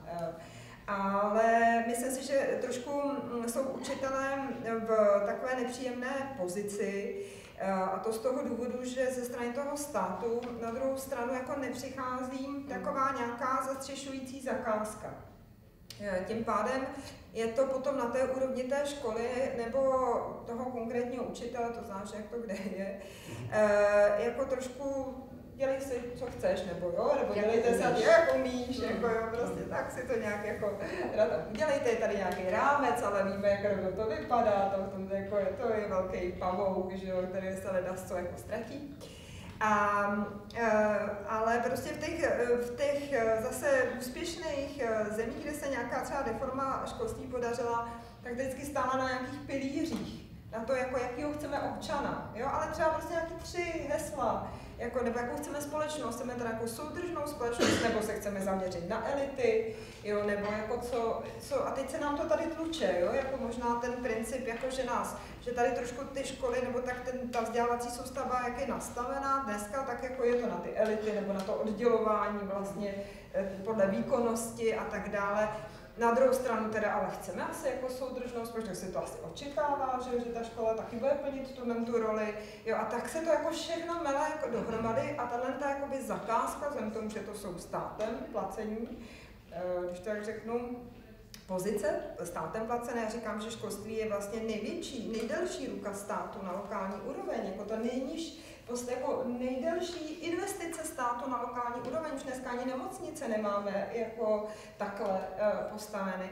Ale přesto ten stát není dostatečně, bych řekla, um, daleko zralý na to, aby řekl, prostě chceme takovouhle společnost. A to je teda nějaký jako zastřešující zadání pro tu školu. A v ten moment jakoby ta škola se může v tom lépe zorientovat, co to znamená z hlediska jejich postojů, co to znamená, třeba ve Francii mají škola musí být laická. Neexistuje, aby učitelka měla křížek, jo, a tak dále. Teď jako, ta pak je zase otázka, že jo, tak šátku a tak dále. U žáků, ale jedna věc je profesionalita učitele a jeho třeba náboženské projevy jako směrem, jo, ale my jsme tohle vůbec tady doteďka, jako ta diskuze žádná taková neproběhla, jakou školu vlastně my chceme? A myslím si, že se toho bojíme právě díky té, tomu jako dědictví, že ta škola byla nástrojem indoktrinace, minulosti a teď se bojíme jako aspoň naznačit maličko, jo, že už by to asi mohla být indoktrinace. Jo, tak, eh, protože samozřejmě, že to, ta reforma nebo ty reformy, eh, ty, ale ty zahraniční, eh, vlastně tam ty principy jsou hodnotové na prvním místě. Jako to jsou ty hodnoty, co vlastně v té společnosti vyznáváme a co té školy vlastně očekáváme, že teda ty hodnoty ona bude podporovat. Já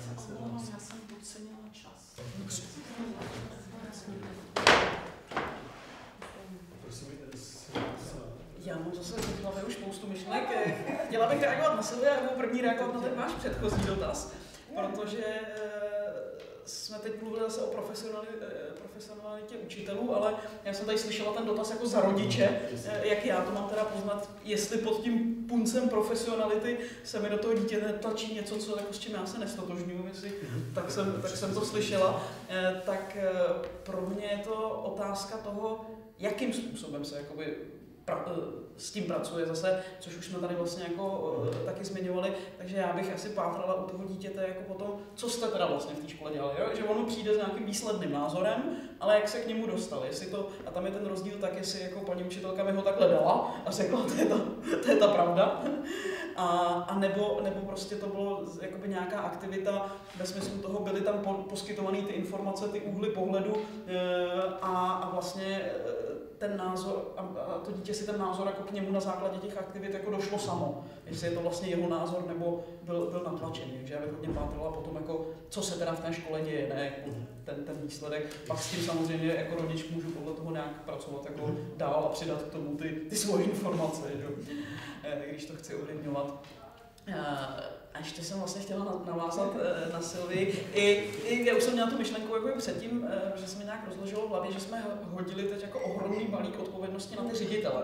Jo? A to je vlastně eh, i, i, i to, co myslím, že jste říkala, že vlastně je to i, i nějaká víc jako systémová otázka. Je to hodně pro mě i otázka jako vzdělávání učitelů, kdy, kdy přesně jakoby ty věci, jako vlastně práce s nějakými sociálními dovednostmi a etická výchova a podobné věci, jsou pořád jakoby v tom portfoliu toho vzdělávání eh, na pedagogických fakultách jako minimální. Já jsem třeba pracovala, eh, taková odbočka v projektu, eh, který se jmenoval Psychologie jinak, a my jsme učili učitelky psychologie na středních zdravotnických školách, jaký mají učit jinak. A vyšlo to, vzešlo to jako požadavek z praxe vyloženě, eh, kdy, kdy oni prostě volali potom, no my jako nechceme učit ty psychologické fakta, jako jména a teorie. My chceme učit to psychologické myšlení, ale nevíme jak, protože nás to nikdo nikdy jinak neučil. Takže se vytvářel projekt, jak učit psychologii zážitkem. Mm-hmm. Jo, a to je pořád něco, co jako, a podle mě to je ten samý princip, co jako, že my se učíme pořád na těch fakultách jako hlavně ty fakta. Mhm. Jo. A tohle tam chybí a, a, zá, a zároveň samozřejmě je to pořád ještě i, jakoby, i když je eh, ten osvícený učitel, eh, osvícený ředitel, tak je to pořád všechno zase ještě jakoby otázka nějakých prostředků a financí a podpory toho systému. Eh, Já v současné době učím psychologii na Waldorfském liceu, kde tam si myslím, že, že by to byla jako z těch pro mě jako dost ukázkový škol toho, jak se tam jakoby pracuje třeba i s tím, s tím, co jsme se bavili o tom, aby byl jednotný, jednotný ten systém toho přístupu a, a pravidel, aby všichni ty učitelé všechno věděli, ale tam mají prostě porady ty kolegy a prostě každý týden je to desetičlený sbor a každý týden tam sedí prostě čtyři hodiny eh, čtvrteční odpoledne, eh, kde to, jak to může dokázat ředitel prostě na škole, kde má 50 člený sbor a, a, a jako je ohromnou variabilitu těch lidí, tam je potřeba i nějaká jako podpora toho systému, nemůže to všechno hodit na toho ředitele. No, tak teď mám, no, to já jsem měla ten na tebe a pak ještě ty další, ale, ale jestli si na to všechno vzpomenu, ale já úplně, mě zaznělo, jak jsi říkal, ty jako rodič, že jsi zákazník. Já bych tomu vlastně, i když že podpora státní a systém, to už je úplně o jiné diskuzi, ale já bych jako za sebe, já to taky tak beru, tak rodič je zákazník a v jeho zájmu je poznat toho učitele, a v tom setkání on prostě zjistí jeho profesionalitu a důvěru. Může samozřejmě kdykoliv dojít na to, že něco, je tam nějaký střed, ale ví, že může přijít a vysvětlí si to. A to je vlastně i ukázka pro ty děti, že mě se něco nelíbí, tak se na to jdu zeptat a prodiskutujeme to. A vlastně teď je to učení na několika těch rovinách. Jo? Takže pokud toho učitele zná a komunikuje s ním, tak ví, jaký je a nemůže přijít něco jako úplně z hůry, jako mhm. může dojít k, nějaký národ, k nějaké názorové neschodě, což je jako ale přirozené. Mhm. A jenom potom tady k systému a vzdělávání a nepodpoře. Eh, v podstatě řekla bych, že do, k dostání se k postojům, eh, učení zážitkem jsem došla mimo strukturu českého školství. To určitě ne, jako to uh, vracení se k tomu a medializování těch věcí je prostě třeba otázkou 20, možná ještě víc let, kdy prostě uh, jsou lit, lit, litoři kritického myšlení a prosazují to na školách. To není otázka dvou, tří let, to je prostě jako desetiletí, desetiletí záležitost toho, že je tady spousta kvalitních lidí, učitelů, kteří prostě ví, co chtějí, jsou osobnosti a snaží se to nějakým způsobem prosadit, ale ta podpora není systémová. A tam jakoby je ta důležitost a to ty lidi samozřejmě odvedou svoji kvalitní práci. Ale kde ho ale... je pak blízko, že? Dobře, díky. Uh, tak já si z toho beru to, že jako rodič mám teda těch 9 let, uh, jako uh, toho, že třeba potkám někoho takového, kdo je partizán a, a potkám školu, kde pan, že ne, já ji znám spoustu, ale jako zatím jsem měl štěstí, tak doufám, že to bude pokračovat. A pak ta otázka to, aby společnost formulovala zakázku, aby opravdu učitel byl profesionál, nebál se. Rodič teda taky by možná potřeboval pro sociální kurz, asi půlku do kurzu. A, a, a pak e, opravdu mít, mít ty podmínky v tom systému, aby nebylo 50 učitelů, kteří jsou na po 0,3 úvazku a vidí se jednou za měsíc. Všechno to by bylo fajn. A pak teda, aby jsme měli, um, aby jsme měli nějak čas a prostor pro opravdu ty aktuální věci kutat. Já teda taky po těch promo akcích tady Valdorská škola, tak, tak já jenom chci upozornit tady na tu naši příručku, vynikající, jak víme, že to funguje, která vlastně nějakým způsobem chce uh, měřit, nebo ne měřit, chce jakoby zjistit stav, jak děti jsou na tom postoji a třeba jestli se to vyvíjí. Jo. Čeští učitelé nám to opilotovali, je to vyzkoušení, tak doporučuji. Ale já chci ještě jednu věc, teda, než abyste neutekli, protože já se chci těch, kteří tady jsou, jestli nemají nějakou otázku jakoukoliv, jo. Nehlaste se všichni, ale cokoliv se ptejte, protože tady máme takhle čtyři odbornice, to se nevíme, odbornice. Než si to rozmyslíte. Myslím, že nám můžete i oponovat. Určitě. Nemusí to být jenom otázka. Mě by zajímalo, jak byste říkala, jako, že bychom měli mít tu zakázku, jaká by měla být ta česká škola. Jestli byste to třeba v těch třech větách nebo v těch třech, no. uh, jako, jak byste to sformulovala? Aha, to je zajímavý protože, ne, no to znamená ne, úplně ne, ne, protože o to se pokoušíme v neziskovém sektoru už nějakou dobu. Já možná nebudu mluvit o tomhle materiálu, tak v nějakých principech vzdělávání, ale chci mluvit o tom, že vlastně ten podnět přišel z humanitárních a rozvojových organizací neziskových eh, k tomu, abychom Teda, když to neudělá stát, a propo od roku 2005 je to v paragrafovém změní ve školském zákoně hned v jeho úvodu, hned jednom z prvních paragrafů, že má vzniknout národní program vzdělávání, kde přesně toto bude uvedeno, jaké jsou ty hlavní hodnoty, ty hlavní cíle toho našeho vzdělávání? A má nad tím být nadpolitická zhoda a má to být konsenzus obou komor parlamentu, kvůli tomu, aby to nebylo závislé na aktuální eh, vládě. Jo? Takže to není moje myšlenka, ani teda to, že teď to, to je opravdu i naše takový, jako taková bolístka, kterou se snažíme neustále připomínat, že to je vlastně nenaplněný paragraf zákona a vlastně nikdo nemá vůli, protože si myslí, že k tomu nemůžeme dospět v České republice, co vlastně o tom vzdělávání chceme. Tak to je jedna věc. A my jsme se už jednou moment naštvali a prostě a přišel ten podnět jakoby od těchto neziskovek. A nějakého půl roku jsme se pravidelně setkávali a prostě jsme vytvořili, já to tady nemám, ale já to mám v hlavě, Vytvořili jsme čtyři pilíře, eh, které je potřeba podle nás v českém kontextu posílit. A škola by je jediný, jediný eh, jako subjekt, který v tom může opravdu významně pomoci. Pak jsou další aktéři, ale ty už to nezachrání. Pokud to neudělá škola, tak se to výrazně v té společnosti neprojeví. A to sebevědomí. To znamená ne v tom jakoby americkém eh, slova smyslu, ale v takovém to sebeúcta, víra v sebe sama, sebepoznání, se právě, jo, sebereflexe v tomhle pojetí. To, že jako vím, kdo jsem, Druhá je otevřenost. Otevřenost eh, vůči okolí, vůči diverzitě, vůči inovacím, ale například vůči světu. Třetí je ale zase naopak zakotvenost, to znamená budování vztahu k, místa, k místu, kde žiju, k, prostě k okolí, k lidem, ke komunitě a tak, přírodě. A čtvrtá je jsme se rozhodli, to bylo zajímavé při té diskuzi, totiž jsme narazili na, a to s tím souvisí teda a propos, na neuvěřitelné množství sprofanovaných českých slov, jo, třeba mír například. Jo. A, tak, tak jsme se ale rozhodli jedno, jedno rehabilitovat a to je angažovanost. A protože to taky spoužil zplánované slovo, já někdy na různých fotech říkám, že podle, říkám, že prostě, a tady taky jako zopakuju, že pořád cítím uh, takový ten tlak jako i na těch školách a tak aktivní blbec. Jo, a trošku ta atmosféra, to klima, jo, jako si představte to paní učitelku, která si jede o víkendu vzdělávat, jako jo, no chápe, jako chápete to, jo. Jo, takže, takže kultura aktivní blbec, ale že trošku nám v českém kontextu stále jako přežívá a my jsme se jako jsme dospěli k závěru, že je potřeba jako tohle to přehodnotit a že potřebujeme prostě lidi angažovaný, zapálený pro věc. A s tím teda ruku v ruce souvisí postoje, protože to je navázaný na tu angažovanost a na tu vnitřní motivaci. Já teprve, když vím, co chci, jako co, co je ten můj maják, jakoby z hlediska to, na co aspiruju, co jsou ty moje postoje, mám nějakou integritu, prostě osobnosti, jsem schopná si to obhájit směrem ke svým okolnímu světu, tak teprve na to můžu stavět jakoby svoji angažovanost. A ta se může projevovat v různých e, směrech, jo, třeba jsou nějaké statistiky e, angažovanosti v zaměstnání. Jo. Samozřejmě nejsme úplně na čelních místech, za Japonci.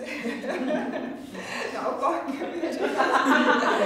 a e, v podnikání, v sociálním podnikání, v dobrovolnických aktivitách, ale i to může se projevit i v osobně prostě životě ve všech sférách. Takže my, my, my jsme si už tohle jako po diskuzích hodně naformulovali a třeba tohle, jako když to řeknu i za mě, já se s tím hodně identifikuju pro orientaci, protože jsi ukázal který ještě tenhle ten materiál, což je materiál z Karlu.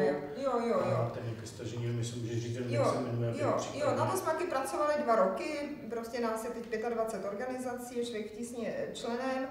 A pracovali jsme na tom, že jsme hodně dlouho, a ono taky se vztahuje, k, vztahuje se to vlastně k postojům, že hodně dlouho jsme cítili jako členové, že máme podobné názory a byli jsme schopni spolu dávat nějaký stanoviska ke vzdělávací politice a tak dále.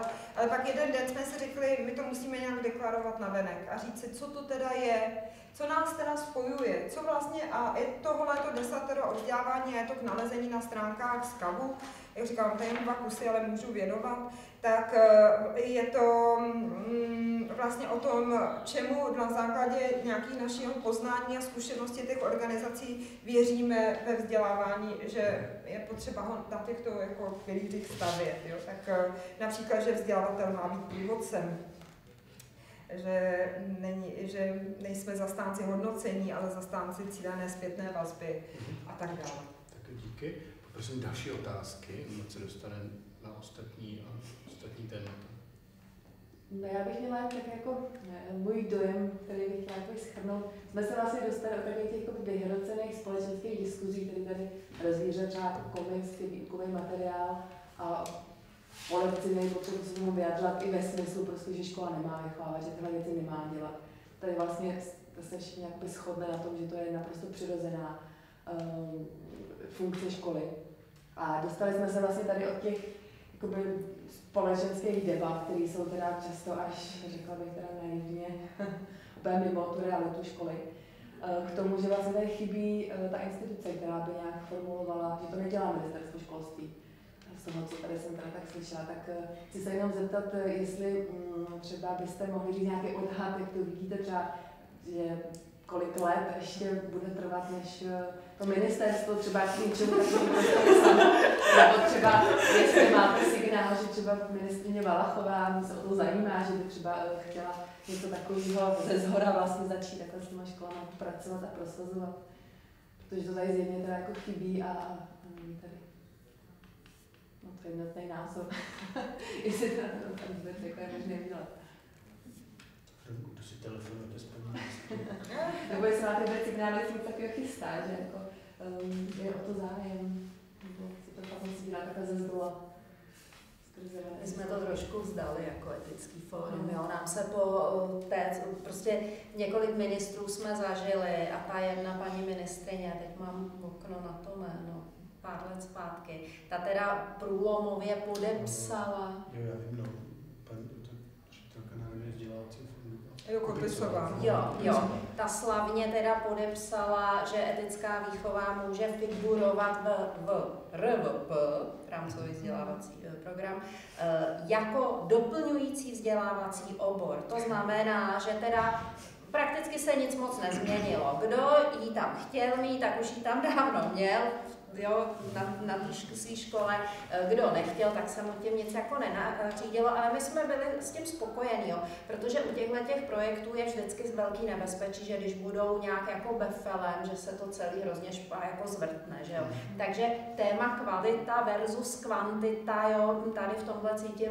hodně jako aktuální, že buď se bude školit teda kvalitně těma zaujatýma kantorama, ale bohužel se to nedostane ke všem dětem, nebo se to dá nějak befelem, pak to podle toho bude vypadat, že jo. No ale tak, eh, abych eh, zase moc neodbíhala, jo. Takže my jsme, eh, my samozřejmě tu snahu pořád máme, jo. Na ministerstvu teď existuje nějaká skupina zpěv, zpěv jako pro implementaci etické výchovy, takže tam se nějak scháze, já jsem se tam s nima scházet přestala, protože jsem neměla pocit, že, že tam jako to nějak je obohacující, jo. Ale uh, já, já vidím jako, jako dobrou cestu právě třeba těm rodičům to říkat. Jo, aby to teda ze zdola šel ten zájem o tu kvalitnější školu, o tu školu, která vychová ty, ty osobnosti. Jo? Že teda, když rodiče to budou chtít, budou tlačit na ty školy, ty školy zase se pohnou. Ideálně ze všech, ze všech směrů. Kdo má prostě schopnost a má ty páky a nech jedná tam nahoře, určitě se taky leco z dobrýho povede. Jo, já zase, když školím, eh, já nevím, v business sféře, tak vždycky tam těm maminkám tak o tom povyprávím, že jo, oni hned stříhají ušima, říkám, teď se na těch školách, jestli tam mají nějaký takovejhle předmět, že jo. A tak věřím, že nějakým způsobem se to bude hejbat a že, že, že se někdy dočkáme. Díky. Máte někdo z ostatních nějaký signál nebo nějakou fantazii, kdy to šlo? Já, já, já myslím, že teď jako opravdu zažíváme nějakou jako, uh, docela krizi toho, že se dějou velmi pozitivní věci a na druhou stranu velmi negativní věci. Jo? A z toho se něco stane. Například ty diskuze na internetu k inkluzi a, a v novinách a tak dále, to je opravdu odporný. A, a na druhou stranu se dějou fakt jako velmi pozitivní věci, jo, že se posunou nějaký z mýho pohledu pozitivní proudy, tím je tím směrem orientovaný. A takže myslím si, že se jako něco přihodí v tomhle tom a nedokážu odhadnout ten čas. Ale to, co mě ještě teď, co s tím jde ruku v ruce, jo, proč jsou vlastně ty diskuze tak odporné na tom, na tom internetu, ale někdy i jako přímém jako střetu, a to z toho důvodu, že není tady jako vybudovaná kultura diskuze. Jo? To já jsem otevřu ještě další pandořinu skříňku. Nevím, jestli bude jako část Samozřejmě tím sklízíme plody školství, jako jo, protože nás to nenaučili. Škola pořád ještě jako nepřicházejí ty nové generace, které by to uměly mít, protože ty diskuze jsou plný argumentační faulů. To není diskuze, jako jo? to jsou prostě nějaké osobní útoky, jako jo? to není naprosto věcná žádná diskuze, vás nikam neposouvá. Um, a velmi často se i diskuze, možná dneska i na, taky jako jo, že tady není plný sál, je vlastně, eh, když tak řeknu, toho, že tady vlastně diskuze trochu ztráta času. Jo, jako někdy se taky říká žvanění, že jo, nebo tak, když jsme nás toho nažvanili dost. No a, a takže, teď nevím, teď na nás, jako jo, ale myslím tím, že to často slýchám, protože organizuju ty kulatý stoly každý měsíc. Často mi to někdo napíše jako, jo, že nějak má potřebu mi to sdělit, že jo, takhle. A, takže eh, myslím si, že ruku v ruce, abychom dostali nějaké změny, je přesně to, že budeme jako rozkrývat v té šíři ty problémy. A v ten moment nebudou jako z toho logicky vypadnout ty jednoduché řešení, že nejsou úplně jako ty, že, nebo ty radikální řešení nejsou ty optimální. A že ty lidi, kteří dneska je třeba píšou, kdyby se účastnili těch debat, tak jako na výstupu by, by to takhle nenapsali. Mm. No, protože by si na tom něco uvědomili, prostě někam by se k tomu posunuli. Jo. Ale jako upřímně moc si s tím nevím rady. Jo? Ta kultura té participace, opravdu konstruktivní diskuze a tak dále v té společnosti mě třeba strašně chybí. A já třeba se z ní úplně nejvíc učím. Z toho, když mám příležitost jako poslouchat nějakou diskuzi nebo se ji účastnit, přijde neuvěřitelný zdroj jako pro nějaký posuny. No. Ale... Tak. Prosím, ostatní, jestli máte nějakou představu nebo iniciativu nebo už třeba víte, že je vyhráno. Jenom technicky, mně přišlo strašně, uh, mě iritoval název téhle diskuze. Mm-hmm. Jako, uh, mě to vlastně jako, uh, jako jestli učitele zajímají hodnoty jako to nějakou. si záznam. mně, mně, mně to jako přišlo, jako, že, no, že to je tak pro mě samozřejmý, že mi to přišlo vlastně, jako jsem říkám, tak a kdyby ten nebude teda jako hostěk, se tak na takovou diskuzi prostě nepůjdu. jako mě vlastně to naštvalo, to, jak se to pojmenovalo. To jsme rádi.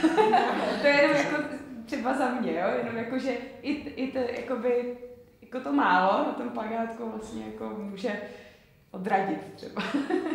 No, nebo popíchnout diskuzi. Nebo. Říkala kolegyně, jakmile se dostaneme k těm emocím, tak už je to dobrý. jo, jo, tak jenom jsem chtěla. Ale poprosím, tady ještě byl dotaz. Uh, já jsem si chtěla zeptat, protože vlastně kromě toho, uh, že tady pomáhám, tak reprezentuju uh, školu Cyril Mooney, hodnotové vzdělávání sestry Cyril Mooney.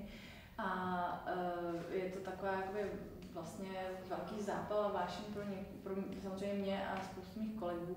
A uh, vlastně teďka nás čeká návštěva se zase v červnu a jako jednou velkou otázkou, kterou mám speciálně pro praktikující učitele, je, jakým způsobem, nebo i ředitele, uh, tak jakým způsobem vlastně, uh, pokud, jakým způsobem oslovit, přesně tak teďka to nahrává i do toho, co byste řekla, a nenaštvat v podstatě a e, při té záplavě těch informací, při tom neuvěřitelném jako toku toho, co ty učitelé musí zvládat a ředitelé, to, co se na ně hrne ze všech neziskovek a ta kritika, která vlastně ještě padá na jejich stranu, e, tak jakým způsobem, když vlastně v očích třeba ty neziskovky má nějaký klenot, který jako chce představit, Uh, tak jestli vůbec je šance, uh, jak se mohla se dostat, že my máme teďka první pilotní školu, A máme jí díky tomu, že její ředitelka došla dvakrát na vlastně stejný eh, seminář s tou sestrou Cyril a je do toho zapálená. A pro nás je to prostě obrovská podpora. Ale jak tomu pokračovat, aby to bylo vlastně úspěšné. Když máme nástroje, máme uh, informace, máme inspiraci, ale nedokážeme třeba dobře komunikovat s těma školama, tak aby jsme byli slyšeni. Dybár slyšíte. No, tak je to, je to, je to přes ty ředitele, protože jako ta, ta záplava a nabídka je strašně jako široká toho, že se to přepošle na školu. Eh, na některých školách to ani to vedení neposílá dál, na některým to posílá těm učitelům, ale protože denně tam mají x dalších věcí, krom toho, co se tam děje, tak se to jakoby ne, nečte, nebo čte, ale prostě se vybírá. A třeba já třeba konkrétně tady jakoby o tom vím, ale protože jsem zapojená do dalších věcí, tak vím, že už jako nemám buď třeba kapacitu a nemám ani čas, protože tam je i ta práce s dětma a nejenom být na nějakém jako semináři. Takže eh, je to tak, že se spojit jako přes ty ředitele, vytvořit ten, získat je a vytvořit ten prostor, aby byl i časový k tomu, protože třeba mnohdy ty semináře se ani jakoby nehradí, ale vlastně ten člověk je pryč a za něj se třeba jako supluje, on si, nebo se on to musí odsuplovat nebo nějakým způsobem vyměnit. To znamená, že ten člověk má ještě třeba dvakrát, třikrát tolik práce a dá do toho a třeba i chce, ale zase je to jako časově náročný. Takže už to vydrží. Prostě- jo, určitě. A ne, nebát se i třeba nějaký, jako domluvit nějakou osobní, jako nějaký osobní setkání toho představení, protože uh, jako ty média na nás utočí ze všech stran a vlastně, když někdo někoho zná nebo pozná jakoby osobně. Já to tak, tak právě taky cítím a je mi nepříjemný, vlastně nechci nastoupit cestu newsletterů a podobných jako bombardovacích nástrojů, protože mm, jako souhlasím s tím, co říkáte. Aha. Tak díky. Další dotazy, pořád. Já spíš komentář než dotaz tady to povídání a to, že tady slyším názory, tak je pro mě opravdu odrazovým můstkem pro to všechno, takže já to neberu jako teď prostor pro otázky, ale proto, že jsem zase ve vás našel tu pevnou půdu pod nohama. Zklamal mě ten počet nás tady, co posloucháme, kdybychom teda seminář dělali na naší škole, dopadlo by to podobně, protože podle většiny učitelů u nás není důvod se ptát žáků na názory, protože to krádá o čas. Já vím, že je to smutný, ale je to tak. Mrzí mě to, že takhle musím o vlastní škole mluvit, přesto se držím zuby nechty, protože tam mám rád žáky, pro které učím, mám rád to prostředí, na které jsem si zvykl, takže už osmým rokem jsem tam, i když tu situaci sledujete a mnohdy zavíráte oči, ale jdete tou cestou, už jsem se tou cestou vydal. Takže tohle všechno je pro mě odrazovým můstkem někam dál. A teď jsou to směry, které mě posilují, ať už je to filozofie pro děti, ať už je to, teď jsem trochu přišiknul ke coachingu, který jenom vede, ale ten cíl nechává na těch dětech, takže to člověk zkouší, našlapuje. Nemám rád výraz kompetence, nesnáším ten výraz z toho důvodu, že ho považuji za samozřejmost. Protože to je ve mně tak jakoby už užitý, že si říkám, ale proč o tom pořád mluvit, to je tak jasná věc, proč z toho dělat, jakoby, mhm. teď to myslím tady v tom směru, jo. Já jsem 100% pro, ale mám pocit, že to je zabudovaný už snad v těch učitelích natolik, že není důvod to znovu a znovu vyzdvihovat. Etická výchova, to samé. Jakoby, když vám teď řeknu, kam se to všechno u nás ve škole smrsklo, tak výsledkem tohoto všeho je, já mám kombinaci zeměpis a osobnostní a sociální výchova, jak se dnes jmenuje moderní občanka. Máme to jednu hodinu v 8. třídě a jednu hodinu v 9. třídě. Hmm. A teď pozor, jsou v tom všechny výstupy výchovy k občanství, výchovy ke zdraví, etické výchovy, to všechno pod tou jednou hodinou a vy vybíráte, protože ekonomie, právo, politologie, psychologie, sociologie, filozofie během dvou let po jedné hodině do toho zdravý životní styl, manipulace, a můžu pokračovat do nekonečna. Vybíráte, co tím dětem sedne, diskutujete o tom, posouváte to dál.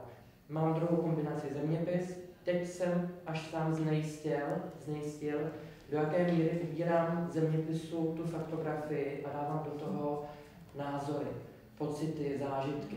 My to často vyčítám, když jste mě na hodině, tak my mnohdy, jak jsem měl na věcích, máme tam deky, si diskutujeme o těch věcech, co se dějí okolo. A někdy si i já sám říkám, jestli už nejsem jako příliš daleko v tom, jestli jsem neubral fakta na úkor těch postojů, zážitků a toho všeho dalšího. Ale nechci být z toho jakoby nervózní, protože nahrávám do karet těm, kteří mi tu výuku degradují už sami o sobě. Neustále jsou to útoky od ostatních kolegů, jak ta výuka vypadá, že se děti neodnáší nic matatelného, co se týče faktů. Ale postoje nejsou matatelné, ty se projeví až v životě, jestli potom ti žáci podle toho dokážou žít, je to takový návod na život, inspirace pro život ještě. Takže tohle všechno strašně rád slyším, jenom mě mrzí tohle. Jo, to, to prostě je to taky pozdechnutí, protože... Já rozumím, my to natočíme a pak to vrhneme do těch internetu. Děláme revoluci. Já moc děkuji, protože myslím, že, jo, že uh, naším členem bylo nějakým způsobem třeba pozbudit učitele, kteří v těch hodnotách přemýšlejí a uh, zajímají se o to, uh, jak děti myslí, o čem myslí a, a podobně. Jo. Moc díky. Jo, a vlastně podle mě je to úkolem školy. Jo. Já jsem z faktografických věcí zapomněl skoro všechno a doufám, že by těch hodnotových něco zbylo. A, a tak takhle, jo, díky. Mě ještě napadlo k sestře Cyril a třeba v tom, co děláme s Edwinem, nějakým programem Extra třída, je, že vlastně nakolik škola a její nastavení umožňuje to, aby se ti žáci dostali do nějaké situace konkrétní, reální, kdy vlastně do určitý míry i diskomfortu a, a tom se jakým jsem tužili, když to tak řeknu osobnostně, Eh, že mm, vlastně to, že ta výuka probíhá v textech té školy v zásadě, ať už to je, i když je to projektová výuka, jo, tak ale je trošku nějak jako nastavená do nějakého specifického prostředí, tak eh, mm, jako tam prostor pro to, aby se člověk do té reální situace, kdy třeba že tam, star, tam starší děvčata učili děti ze sociálně stavy chudých jako čtvrtí a tak dále, a protože oni měli tu výbavu na to, aby mohli to předat a nějak, nějakou empatii se rozvíjet a tak dále. Právě třeba v extratřídě zase děcka sami vymýšlejí veřejně prospěšné uh, projekty, pro tu komunitu přemýšlej, co je, tam by tam měla být ta pozitivní změna a skrze to najednou jako se vylupují nějaké osobnosti, které vlastně v té třídě nebyly vůbec vidět, jo, nebo protože ta situace, ve které jsou, ta reálná situace, která je někdy vysoce obtížná, protože tam jsou nějaké krize, tam nějaká skupinová dynamika opravdu, ale proto je tam ten učitel, který je ten garant určitého toho prostředí, vlastně ta záchytná síť, toho, že vlastně je to ta prevence mm, toho, aby člověk neskončil mimo tu síť potom v tom životě. Že jo? Protože si tu, tu, tu, jako to riziko může vyzkoušet už prostředí toho vzdělávání a je tam pořád někdo, kdo, kdo může zabrzdit, když už, příliš někam do, do extrému. No. Takže uh, jenom tohle to je taky ještě pro mě téma k úvaze, že určité omezené nastavení školy mm-hmm. sami o sobě. Mm-hmm. Na druhou stranu uh, zase uh, si myslím, že co jsem já slyšela, tak uh, v České republice ve školství je tolik způsobů, způsobů jak to omezení překročit. Že vlastně souhlasím s tím názorem, že opravdu se jedná jenom o nastavení toho ředitele. Pokud ten ředitel chce, tak, tak to prostě jde. A myslím, že mm, ta byrokracie se dá. To je ta statečnost. Dá. Já myslím, že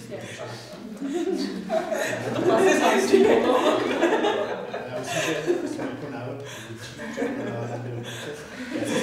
já se trošku nachylil čas. Já bych chtěl, aby to pak i pro ostatní, protože nás tak akorát, jenom jestli máte nějakou věc, co myslíte, že, nebo ne, jenom, jestli nějakou formulujete věc, kterou názor, který chcete ještě dneska říct, aby padnul, byste pak neměli nějaké jako nějakou tu noc, kdy nebudete spát, že něco nezaznělo důležitého. Ještě natáčíme.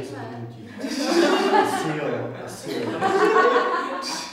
tak nic. Ale může to skončit. Znakové měsíce. Nejenom jestli máte něco takového, co vás ještě napadá, že je důležité říct, nebo nějak, co si chcete za sebe zhrnout, jo, že to je ten prostor. Já možná krátce. Jo. Myslím si, že fakt ty, to téma strach, statečnost, osobní angažovanost, tyhle věci, že jsou aktuálnější než kdy dřív. Mm-hmm. Já, když uh, školím právě i různé sociální dovednosti ve firmách, mhm. asertivitu, komunikaci, vedení lidí a td. Já za ty roky vidím, jak se lidi víc a víc bojí. Mm-hmm. Bojí se všeho, bojí se ozvat, jo, bojí se, že je vyhodí z práce, přitom jako, no, tak, no, a tak dále. Jo. Takže si myslím, že tohle jsou aktuální témata a, a že prostě musíme ty děti v tomhle smyslu povzbuzovat. A vybavit. Děkuji, jako tam budu rád za své děti. Díky. Tak já určitě bych chtěla znovu zdůraznit, že jde vždycky o tu osobnost, je to o lidech, o tom člověku. A když má to eh, podporu i u toho vedení, možnost i třeba vlastně práci se sebou, což je jako podstatný, tak eh, tam je větší klid a může to předávat dál a ztrácí nějaký zábrany strachu, i když ten tam samozřejmě přirozeně nějaký je a je spousta možností i pracovat jako formou různých výcviků nebo těch supervizí a když ta možnost jakoby je, ten člověk sám roste a může to prostě předávat dál a je to vidět na tom prostředí, vztahy se, jakoby i s kolegy, i s těma dětma. Mhm. Jakoby to tam, jako, že to funguje, že to tam někde to je. Ne systémově, ale je to. Díky, prosím. Mě moc pozbudilo se tady eh, recipročně eh, vaše povídání. Asi se vrátím k té myšlence, kterou jsem tady říkala někdy v úvodu, že prostě ta škola je pro mě primárně prostě setkání člověka s člověkem a, a, a jako člověk sám za sebe to nějak můžeme každý ten svým dílkem uh, ovlivňovat. A já si myslím, že vždycky strašně ráda slyším takovéhle, takovéhle příběhy, kdo jako té práci s žáky s těmi lidmi tam, tam přistupuje a myslím si, že ta, ta pozitivní zpráva pro mě je, že prostě vás je, je víc a víc a byť eh, k, tému, k tomu, jak můžou nastat změny jako stran ministerstva, já jsem spíš skeptická, tak, eh, tak si myslím, že tohle je ta cesta, že prostě furt máme nějakou jako tady svobodu ovlivňovat tu svoji činnost a, spíš jako je to i možná mezi těma diskuzema kolegy a šířit tohle cestu, co už tady taky zaznělo.